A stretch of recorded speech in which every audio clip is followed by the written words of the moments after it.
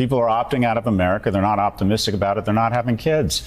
Young people aren't having sex. They're not meeting. They're not mating. The pool of emotionally and economically viable men shrinks every day, which lessens household formation.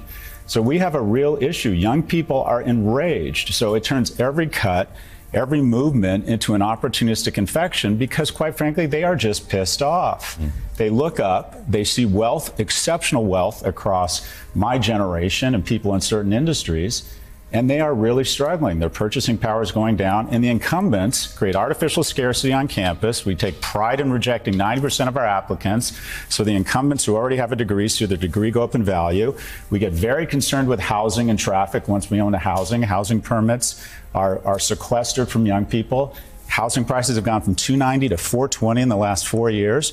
So a young person, a house, stocks that I don't own skyrocket in value. Let's have COVID relief and flush the markets and take assets way up because if a million people dying would be bad, would be tragic if I got less wealthy. And I, we're doing it on their credit card. Young people have every reason to be enraged and every issue they see, they look up, they get angry and they see someone doing better than them. And then every day it is speedballed in their face that they are failing, that they are not doing as well as everyone around them.